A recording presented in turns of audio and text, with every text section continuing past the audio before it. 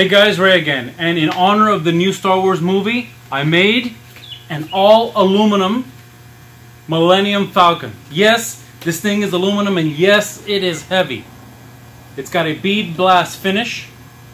Uh, it's in honor of the new solo uh, Star Wars movie that came out just a few days ago. I'd like to thank Jose at City Aperture for giving me the files to make this. I'll put a link to his channel and his video of laser cutting a wood one in the description of this video. I'd also like to thank C4 Labs. They are the ones that made the files. I'm not sure if they're still available, but I'll put a link to their site in the description of this video. In this video, I'm going to show you how I made it. So, this is the material we're going to be using. It is a sheet of aluminum, 5052, 3 16ths of an inch thick, and measures 4 foot, as you can see here, by 8 foot. And I'm going to be using the vast majority of this sheet for this one little project. For those of you new to my channel, this machine behind me this is a water jet. Yeah, I have a water jet and I use it all the time. I'll put a link in the description of this video on the ins and outs of how this machine functions. For now, let's get on the table and start cutting.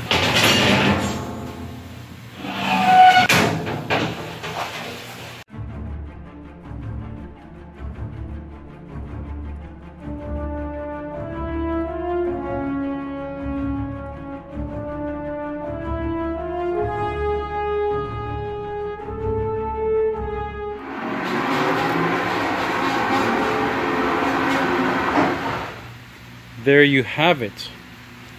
The finished parts all cut. Look at the size of this Millennium Falcon. It's going to be pretty pretty nice. I just got to take it out of this plate now. You can see these little tiny tabs. Now, it's not necessary for a part this big, but when you have parts that are this small, they can fall into the table. So I went ahead and tabbed all the pieces so that we can remove them, sand the tabs down, and get it put together. Additionally, there's so many pieces, I needed to know which ones are which. As you can see, I went ahead and numbered everything on the sheet, uh, all these pieces, and now I just have to take them out one at a time and sand these little knobs off. But they break off very nicely. So now I'm just going to take and sand off these little nubs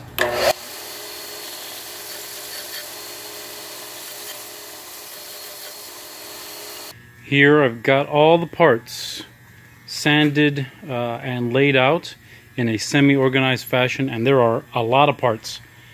But uh, we're going to start with the base plate as you can see here. And uh, hmm, you can see from the scale this is going to be a pretty good sized piece and it's going to be very heavy.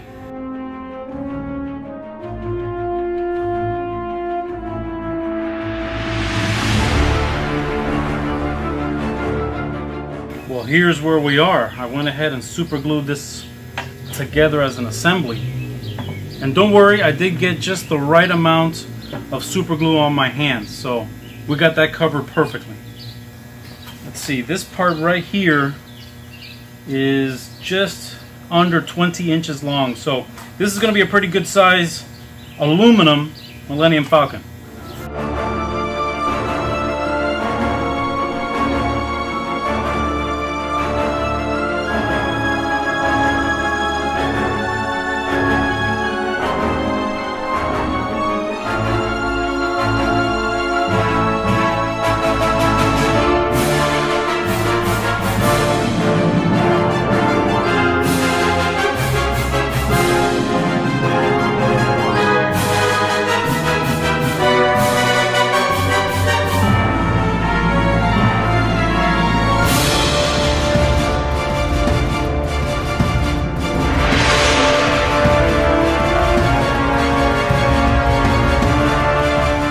Alright, here is how far I've gotten.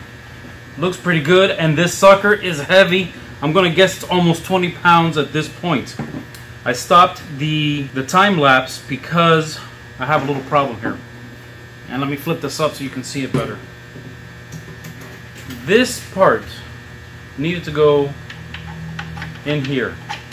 Now, there's no instructions obviously, but I missed that this actually needed to be the first piece to go in before you got the two halves together. So if you do this puzzle, make sure you put this piece in first. Now I cannot get it in, and since it's not wood, it's not very flexible. So I think what I'm going to do because the slot is going to be visible, I don't want to cut any of this. But I'm going to cut back this corner here so I can slip it in at an angle and get it in close and then lock it in place. I think that'll work. Nobody will ever see it. It'll still be very strong, but uh, I got to go to the bandsaw and take this part off. All right, so you can see I cut off that corner like I said I would, and that's the little piece that came out of there. And we're gonna see how this thing fits.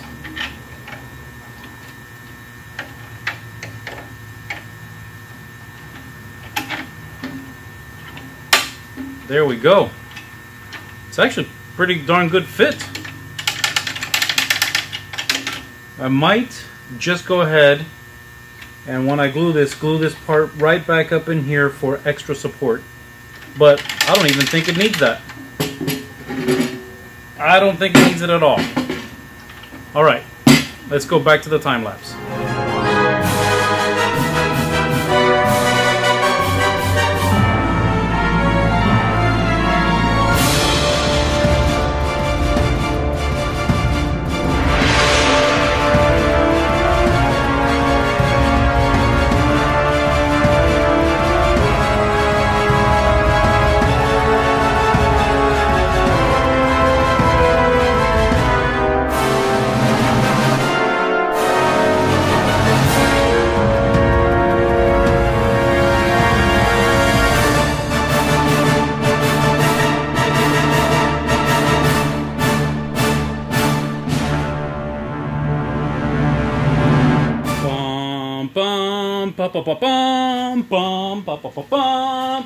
Check this out.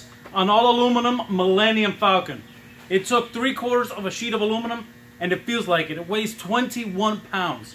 Uh, but we're not finished yet. If you'll see, the surface is less than homogeneous. Obviously I got my Sharpie marks on there.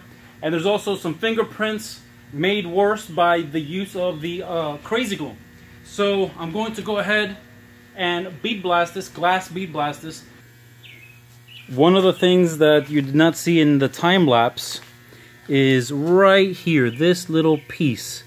There was there's a notch in the frame, only no piece is included to uh, close that up. So I went ahead and cut a little piece of aluminum and put it in that notch. I don't know why there's a notch there. I think it's something they just forgot about. So you can see those smoky marks um, the crazy glue, when it evaporates, it, any of the oils on the surface uh, gets to be smoky. Um, I think they use that in forensic science actually to get fingerprints off of things. And for good reason. It works. Here it is in the bead blaster. Now, you're not going to see that because it is very hard to actually film it inside there while I am bead blasting it. But you can see it's in there and we'll come back when it's done. Well, there she is, finished and bead blasted. You can see how it has almost like a primer gray look to it, but that is actually all I did was bead blast it. You can see how differently it looks now on all sides. So just to cover it, it's made out of 3 16 aluminum, 5052, weighs in at 21 pounds, and it is 19 inches long from the tip here to the back. And I'm wearing gloves because the oil from my fingers will leave uh, fingerprints on here and I don't want to do that. Let's take a look at the underside. There it is. All bead blasted. The details are nice, including that little extra piece that I added that was not part of the original file. I think it looks awesome. There it is, head on. Thank you all for watching. Please don't forget to like, comment, share, and subscribe to my channel to stay up to date on all my future videos. Thanks again. So, I know someone's to ask me, what did this thing cost to make? And I will tell you that it cost a lot. Just the aluminum alone that you see here is $300 in aluminum. The whole sheet is $400 and I used three quarters of it. Water jet time just to cut this ended up being a little over four hours, which means that the cutting alone was about $600. So right there you have about $900. The time I spent fixing the files because the files were not water jet ready when I got them took me about 40 additional hours. and the assembly took about 18. So there is a ton of time invested in this thing. It's very expensive. So if anyone is interested, please, one, I cannot sell it because it is a Star Wars item and you know how the licensing is, so I cannot sell it. But if you want to know what this one cost me to make, it, it cost me $900 just in straight costs. Um, if you start factoring in labor, you're probably about $1,500, $1,600. So it is a ton of time and it is a very expensive undertaking.